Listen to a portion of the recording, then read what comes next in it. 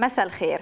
البداية من الاستشارات النيابية غير الملزمة يلي انتهت بتكرار المعروف والمطلوب فرنسيا حكومة اختصاصيين. وعلى الجميع التعاون أما الرئيس المكلف فخرج ليعلن تفاءلوا بالخير تجدوه. تقرير جوال بيونس. أنت من سيسمي الوزراء. إن شاء الله. إن شاء الله إن شاء الله. بإن شاء الله دخل الرئيس المكلف مصطفى أديب عين التيني للقاء الكتل على استشارات غير ملزمة محصنا بخارطة طريق فرنسية مرسومة سلفا تطلب من الجميع التعاون. وبالفعل هذا ما حصل ظاهرا. فسعد الحريري الذي أخذ على عاتقه تسمية أديب خرجت كتلته برئاسة بهية الحريري لتؤكد تعاونها. ولكن ماذا عن المشاركة؟ هل سيشارك في لا لا نحن واضحين. إذا رايحين لحكومة مستقلين ما حدا بالبلد ما عنده انتماء. انتبهوا. بس إحنا مع حكومة مستقلين واختصاصيين. نقطة على السطر. لم يحسمها نهائيا المستقبل. وعلى خطاه سار التقدم الاشتراكي ولكن على قاعدة ما بدنا ظاهرا وبدنا باطنا. ما عندنا مطالب مباشرة للحكومة وغير الحكومة. ما بس ما عندنا أي مشكلة مع اختيار أي إنسان كفؤ بأي طائفة بأي موقع إذا كان بيخدم هيدي الورقة الإصلاحية اللي ماكرون. القوات والمردة وكعادتهما صوبا باتجاه رئيس التيار ووزارة الطاقة لكن اللافتة كان حرص القوات المفرط على السيادة. بلغني أنه القوات اللبنانية ما بدها تشارك ما بدها تقدم أسامي. امبارح نحن كلبنانيين ما شعرنا بكثير من العنفوان ولا بالسيادة. وقت سمعنا رئيس دولة ولو صديق عم يتوجه لنا بهالكلام. ولكن هناك معلومات كمان بتقول الرئيس الفرنسي توجه لكم بلهجة عالية وحذركم من العرقله نحن لو بنستمع لرأي غيرنا كنا أيدنا الأستاذ مصطفى أديب اختيارنا لغيره كان علامة فارقة ليقول نحن بنقرر شو بدنا ونحن مع احترامنا وصداقتنا ل فرنسا وللرئيس ماكرون نحن بنعرف بلبنان أكثر منه. منين عليه إنه دولته هو يسمي الوزارات الحساسة وعلى رأسها وزارة الطاقة. وفيما أبدت الوفاء للمقاومة كل نية للتسهيل فطرح المداورة في الحقائب سألنا عنه أنور الخليل. لم نتحدث عن تفاصيل في شكل الحكومة أردناها أن تكون فاعلة منتجة تدرك الواقع السياسي الذي تتحرك فيه وطبيعة ومزاج الشعب اللبناني. إن الكتلة لم تطلب شيئا لها. لكن زميله حميد قال عكس ذلك متمسكون بالتوقيع الشيعي في وزارة المال. على أي حال التصويب على التيار من باب الطاقة رده باسيل بتصويب المسار باتجاه الدولة المدنية بموقف بارز من شأنه أن يحرج الجميع. أي شكل من أشكال مشاركة من قبلنا تنستبق الموضوع أو عدم مشاركة مشاركة مباشرة أو غير مباشرة نحن قبلانين بكل شيء بصير في عليه اتفاق بين الكل. المهم الهدف هو إنجاز حكومة تنجز. أكيد فينا نتمنى من باب التمني حسب الخبرة إنه إيه يكون في مداورة بالوزارات. إذا عم نحكي عن دولة مدنية نبلش بمداورة بالوزارات. انعملت سنة 2014 والمداورة هي اسمها مداورة بتبرم يعني مش بتبرم برمة وحدة وبتوقف. تعمل بر بر برمتها كيل. طبعا طبعا ما في ما في وزارة محجوزة لفريق أو لطائفة أو لجهة. هيدي فكرة. والله إذا الكل وافقوا عليها بتكون شغلة منيحة للبنان. وفيما تولى باسيل طاقة الرد. رد أبو صعب على القوات بدفاع عن السيادة غير المنتهكة. الرئيس ماكرون عم يعمل جهد جبار ومش مزبوط المنطق اللي عم ينحكى فيه وكأنه جاي لعنا وصاية فرنسية جديدة. لا بالعكس. نحن كلنا عنا استقلالية وكلنا نحن بنعرف شو معناتها الواحد يكون مستقل ببلده. ولكن وصلنا لمرحلة في خلاف كتير كبير خطة انطرحت اللي بده يطبقوها هن اللبنانيين. بس ما بقى فيها المنظومة تضل ماشية مثل ما كانت ماشية بالماضي. العالم ما بقى يتقبلوا ونحن ما بقى نتقبل الأمور تكون ماشية مثل ما كانت ماشية. ومن بين النواب المستقلين برزت مواقف شامل ركز ساعة الناس بعد ما أخذها ساعة الناس بيقدر ياخذها من خلال أول مرحلة هي تشكيلة الحكومة.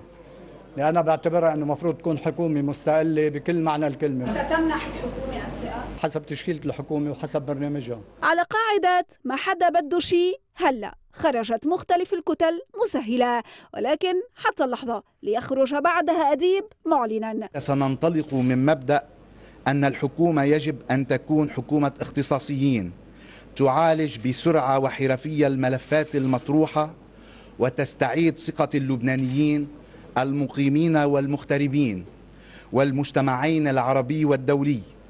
كما نتطلع إلى تعاون مثمر مع المجلس النيابي الكريم لدرس وإقرار القوانين اللازمة لمواكبة المرشة الحكومية. في الاستشارات لم تكن طريق مصطفى أديب معبدة إلى مجلس النواب والسبب أضرار انفجار مرفأ بيروت. فهل يكون أديب على قدر المهمة ويؤلف حكومة مهمات من اختصاصيين ضمن 15 يوما فتكون طريقه إلى مجلس النواب للثقة معبدة ومسهلة أو أن الشياطين ستكمن في تفاصيل التأليف من عين التيني جوال بيونس وتيفي وبعد زيارة الرئيس الفرنسي إيمانويل ماكرون إلى لبنان الحافلة بالمواقف والدلالات السياسية ما هو الخطر الذي يسود لبنان في حال لم تشكل الحكومة بظرف 15 يوم؟ وبدأت بتطبيق الإصلاحات بثمان أسابيع مثل ما طلب الرئيس ماكرون. وما مصلحة وجدية الدولة الفرنسية بمحاولة انتشال لبنان من المعاناة الغارق فيها. أستاذة العلاقات الدولية في الجامعة اللبنانية ليلى أولى تشرح أبعاد هذه الزيارة على المرحلة المقبلة في لبنان. يعني بشكل أساسي يعني زيارة ماكرون أتت هذه المرة لتضع اللبنانيين أمام أمل كبير بتحقيق إصلاحات جدية وحقيقية من بعد ما الطبقة السياسية وخاصة آه، ما يسمى الدولة العميقة ساهمت بتعميق يعني الأزمة الاقتصادية بالهروب إلى الأمام وحاولت التنصل من كل محاولة الإصلاح وكل محاولة لمكافحة الفساد. الإصلاحات اللي يعني اللي طلبها ماكرون من من السلطة السياسية وطلبها من الحكومة الجديدة هي هي مطالب لبنانية بشكل أساسي. هي أفكار آه، قد يعني استوحاها الفرنسيون من اللبنانيين ومن رغبة اللبنانيين بالإصلاح وخاصة الإصلاح الحقيقي. آه، الأكيد أنه يمكن عندنا قد يكون عند بعض اللبنانيين يعني على الأسلوب آه، تحفظ على الأسلوب الذي حصلت فيه. ولكن آه، بالنهاية آه، بالنهاية نعم يمكن الطبقة السياسية ما كان ممكن تمشي إلا بهذا الأسلوب. تبين إنه كل صرخات وصرخات الشعب اللبناني وكل دعوات الرئيس للإصلاح ولمكافحة الفساد لم تلقى اذان صاغية. بالعكس يعني بنشوف إنه تواطئت الطبقة السياسية مع مع بعض رجال الدين مع بعض الإعلاميين والإداريين والأمنيين و يعني تواطؤوا مع بعضهم البعض لإفشال أي محاولة إصلاحية كان ممكن يقوم فيها رئيس الجمهورية. أما بالنسبة إذا ما حصلت هذه الإصلاحات أو يعني خريطة الطريق اللي آه، اللي حطها الرئيس ماكرون أمس بخلال زيارته آه، إذا ما حصلت رح يكون في خطر على يعني خطر على اللبنانيين بأمرين. أول أمر إنه رح يكون في يعني ما رح يكون في مساعدات خارجية. كان واضح المجتمع الدولي بإنه من من وقت سادر ولغاية اليوم إنه لن يعطي اللبنانيين شك على بياض مثل ما قال ماكرون. ما رح يعطوا إذا ما صار في إصلاحات. يعني ما حدا ممكن يحط بسفينة مثقوبة يعني يستثمر بسفينة بسفينة مثقوبة. لذلك الخطر الأول هو انهيار اقتصادي شامل ومجاعة كبيرة ممكن يواجهها اللبنانيين وبالتالي الانفجار انفجار يعني إحنا كنا أساسا عم نعاني قبل انفجار المرفأ ومن بعد انفجار المرفأ صار في كوارث اقتصادية واجتماعية والتقارير الدولية بتقول إنه قد يكون إنه 50% من اللبنانيين تحت خط الفقر وما بيقدروا يعني يأمنوا أمنهم الغذائي بالخريف المقبل. هذا بالخطر الأول والداهم والحقيقي واللي ما في حدا يتعامى عنه. نعم. الموضوع الثاني الخطر الثاني اللي ممكن يعني هو ليس خطر مباشر على اللبنانيين ولكن تداعياته قد تكون خطر على اللبنانيين. أكيد العقوبات اللي هدد فيها ماكرون للطبقة السياسية هي من عقوبات على الشعب اللبناني. هي عادة بتكون العقوبات تستهدف قد تكون أوروبية تستهدف آه، مسؤولين سياسيين بعينهم. هن آه، الأكيد إنه ماكرون بيعرف إنه هربوا أموالهم وموجودين بأوروبا. هذه الأموال مهربة من لبنان ومعظمها يعني معظمها أموال فساد وتم تهريبها من بعد 17 تشرين. هذه العقوبات على هذه الطبقة السياسية ما بتأثر مباشرة على اللبنانيين إلا بحال السياسيين وهن معظمهم من أمراء الحرب دفعوا الأمور إلى الأمام وحاولوا إنه يعملوا آه، اضطرابات أمنية آه، يعني تيهددوا الاستقرار هربا من هذه العقوبات، أكيد بأنه كل دولة الدول الكبرى عندها مصالحها والدول ليست جمعيات خيرية ونحن يعني اللبنانيين منا منا مفكرين إنه يعني فرنسا كرمال سواد عيوننا أو الدول لما بتجي تساعدنا هي كرمال سواد عيوننا، هناك العديد من الملفات اللي هي حيوية لفرنسا ومشان هيك ممكن يعني فرنسا تكون جدية بمساعدة لبنان وجدية بإنقاذ لبنان من هذا من هذا الخطر الذي يتهدده، اولا فرنسا يعني عندها نفوذ تاريخي بلبنان وفرنسا تريد أن يعني تجدد نفوذها التاريخي، الشيء الأخير بأنه ماكرون الليجاسي تبعه يعني أو آه، سيرته هو آه، رصيده السياسي بفرنسا آه، قد يزيد بحال نجاحه بإنقاذ لبنان لما للبنان وفرنسا روابط تاريخيه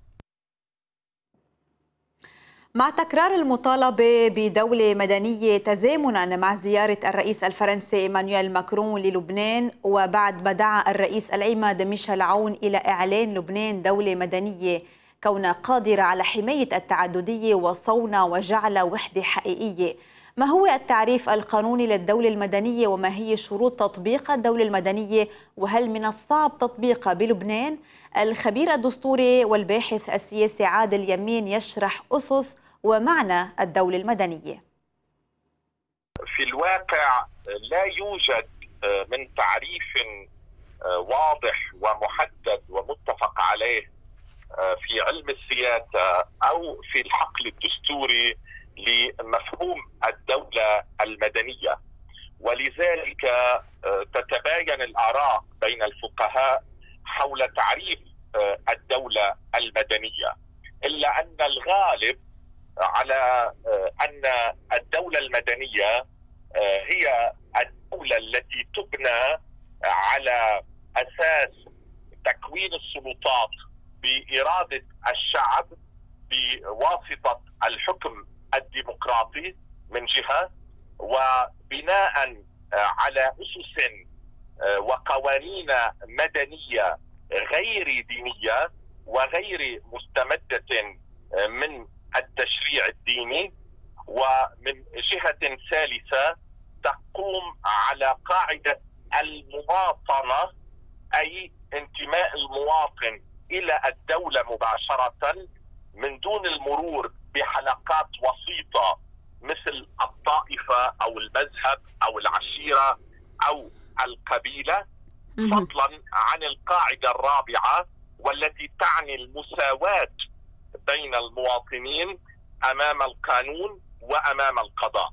وبالتالي فإننا نستطيع القول إن الدولة المدنية هي تلك الدولة التي تعتمد الحكم الديمقراطي الذي يحترم الحريات العامة والذي ينبثق من إرادة شعبية بموجب انتخابات نزيهة كما أن في الدولة المدنية تسن القوانين بناء آه، على معطيات مدنية وبالطرق المدنية وبإرادة ممثلي الشعب وليست منزلة آه، من آه، من آه، من علياء ديني أو من موجبات سماوية كما أن القضاء فيها والمحاكم هي محاكم مدنية وليست محاكم دينية أو طائفية أو مذهبية ويتساوى فيها المواطنون في جميع الحقول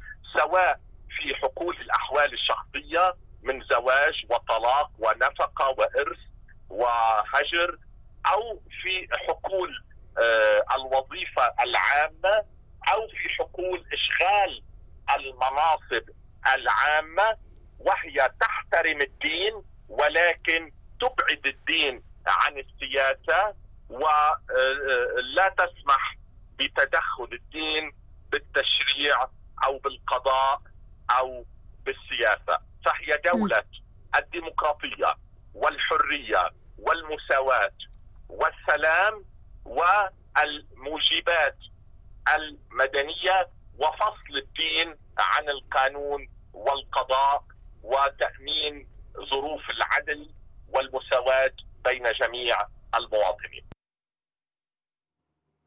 قضائيا المحقق العدلي فادي صوان أوقف الرائد في أمن الدولة جوزيف النداف الذي خابر النيابة العامة بوجود مادة النيترات. فعلى ماذا ارتكز وكيف ترد المصادر الأمنية على ذلك؟ تقرير لارا الهاشم.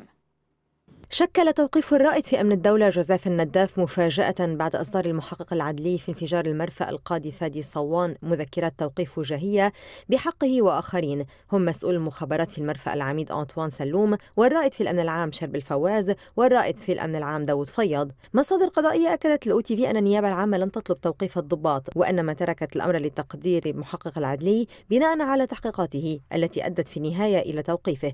في المقابل تصف مصادر أمنية مطلعة توقيف الرائد النداف باللا عدالة كون الأخير كان أول من كشف وجود مادة النيترات أمونيوم في العنبر رقم 12 وبلغ أنها شديدة الخطورة وشديدة الانفجار. في التقرير الذي رفعه جهاز أمن الدولة إلى الأمانة العامة للمجلس الأعلى للدفاع والنيابة العامة تمييزية. وتسأل المصادر عبر الأو تي في أين معنويات العسكريين في أي مهمة يكلفون بها لمكافحة الفساد إزاء هذا الواقع؟ وتضيف هل يا ترى أن الذي عمل واكتشف يحاسب قبل المرتكب؟ علما أن قانون أصول المحاكمات الجزائية لا يعطي أي صلاحية لا لجهاز أمن الدولة ولا للأمن العام لدخول العنابر. وتعود المصادر إلى القانون المذكور لتؤكد أن النداف تحرك ضمن الصلاحيات الممنوحة له. إذ تنص المادة 33 منه أن النائب العام إذا وجد أثناء التفتيش أشياء ممنوعة فيضبطها ويعود له أن يكلف ضابطا عدليا بإجراء التفتيش تحت إشرافه ومراقبته. أما المادة 34 فتقول أنه إذا استلزمت طبيعة الجريمة أو آثارها الاستعانة بخبير أو أكثر لجلاء بعض المسائل فيعين النائب العام الخبير المختص. كما أن النائب العام يقوم بأي إجراءات تحقيقية أخرى يراها ضرورية لجمع المعلومات المفيدة وتوفير الأدلة وفقا للمادة 35 أما بالنسبة لصلاحية أمن الدولة كضابطة عدلية فتنص المادة 47 من أصول المحاكمات الجزائية على أن الضباط العدليون يطلعون النيابة العامة على ما يقومون به من إجراءات ويتقيدون بتعليماتها وكل تفتيش يجرونه خلافا لهذه الأصول يكون باطلا. كما أن المادة 49 تمنح النائب العام صلاحية التدقيق في التحقيقات الأولية وللنائب العام بحسب المادة 50 أن يقرر حفظ أوراق التحقيق الأولي إذا تبين له أن الفعل لا يؤلف جريمة وهذا ما حصل وفقا للمصادر. وعلى هذه المواد ترد مصادر قضائية بأن ثمة مسؤولية أمنية مختلفة تترتب على النداف كونه مسؤول عن أمن المنشآت العامة في المرفأ إلا أن تحديد المسؤوليات في النهاية يكون في الحكم النهائي. وعن احتمال الاستماع إلى وزراء وقضاة فتقول مصادر قضائية الأو تي في أن الاستماع إلى الوزراء لن يقدم أو يؤخر في حال لم يصوت المجلس النيابي بثلثي أعضائه على إحالتهم على المجلس الأعلى لمحاكمة الرؤساء والوزراء. أما قضاة العجلة ومفوض الحكومة لدى المحكمة العسكرية فيجب أن تدرس آليات الاستماع إليهم. لا سيما وأن القاضي بيتر جرمانوس مستقيل وبمنطقة الروضة وقفة تضامنية مع الرائد جوزيف النداف في حضور أولاده وأمام نصب والده الشهيد ميلاد النداف والنداءات تمحورت حول فك الظلم عنه. ما تحرموني من بي مثل ما بين حرم من بيه عبارة تلخص هدف التحرك الذي نفذته عائلة الرائد جوزيف النداف وأصدقائه ومحبوه في الروضة تحت النصب التذكاري لوالده الشهيد العقيد ميلاد النداف. على الأكف رفع طفله كابن بطل أوقف ليكون كبش محرقة. فيما الحقيقة هي في مكان آخر كما ردد المتضامنون مع الرائد النداف. للعقيد ميلاد النداف والد الرائد جوزيف النداف. بقول له قد ما أنت بتحبه لجوزيف النداف نحن بنحبه. وكرامته من كرامتنا وحريته من حريتنا. جوزيف النداف معه عشر عسكرية على المرفأ بيناتهم اثنين للاستعلام. صار له سنة جوزيف النداف كاتب تقارير قد ما كاتب الدولة اللبنانية كلها على المرفأ ورفعها لرؤسائه. جوزيف ما شغلته أمن المرفأ. جوزيف نزل على المرفأ لكتابة التقارير ومكافحة الفساد.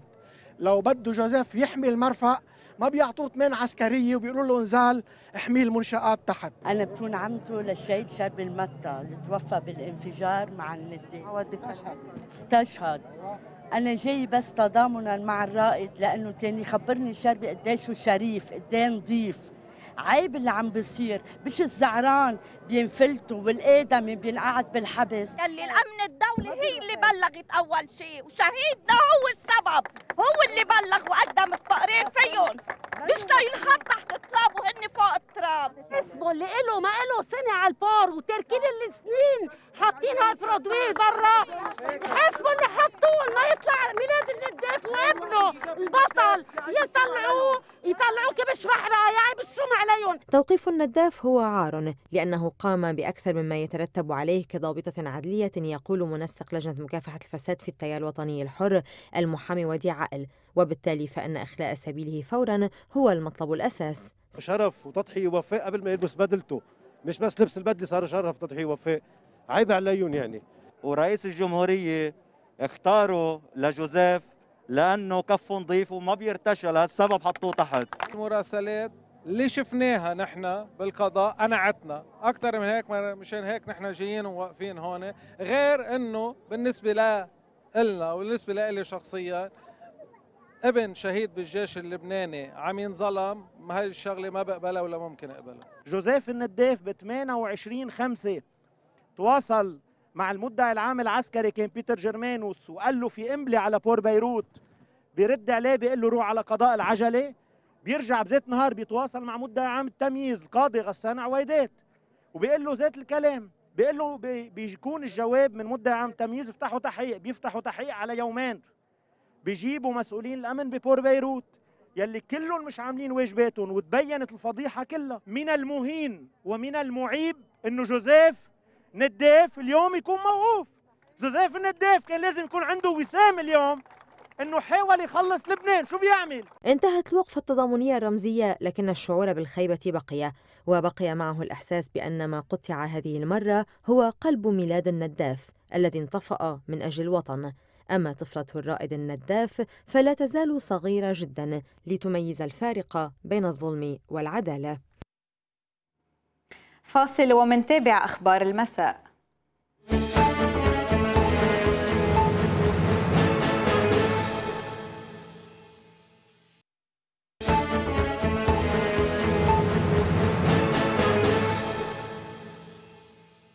متابعين معكم أخبار المساء. البابا فرانسيس يرى أن لبنان يواجه خطر كبير ويجب عدم التخلي عنه. ودعا البابا المؤمنين في أنحاء العالم إلى يوم عالمي للصلاة من أجل لبنان الجمعة المقبل في 4 أيلول. Nous prenons conscience du danger qui menace l'existence même de ce pays.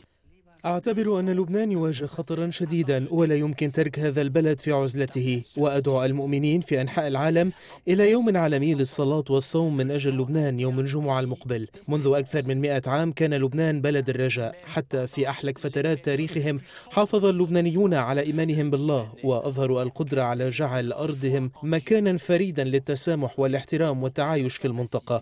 فلبنان هو رسالة حرية وهو مثال على التعددية بين الشرق والغرب. من أجل خير لبنان وإنما من أجل خير العالم أيضا. لا يمكننا أن نسمح بضياع هذا التراث وبالتالي أشجع جميع اللبنانيين على الاستمرار في الرجاء وإيجاد القوة والطاقة للبدء من جديد. وأطلب من السياسيين والقادة الدينيين أن يلتزموا بصدق وشفافية في أعمال إعادة الأعمار والتخلي عن المصالح الحزبية والنظر إلى الخير العام ومستقبل الأمة. وأنا أدعو المجموعة الدولية إلى دعم لبنان لمساعدته على الخروج من هذه الأزمة الخطيرة دون التورط في التوترات الإقليمية. وأطلب من سكان بيروت الذين تعرضوا لتجربة قاسية من جراء الانفجار بأن لا يتركوا بيوتهم وتراثهم. ومع هالخبر مشاهدينا بنوصل لختام أخبار المساء. للمزيد تابعونا عبر فيسبوك وتويتر. شكرا للمتابعة وتصبحوا على ألف خير.